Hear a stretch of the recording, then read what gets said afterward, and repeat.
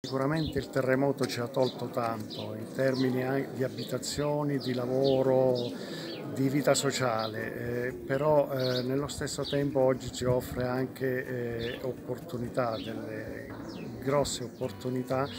per eh, la crescita e le prospettive future. Sicuramente ecco, questo dei progetti, dei PIT, progetti integrati per uno sviluppo turistico futuro sono importanti, bisogna coglierle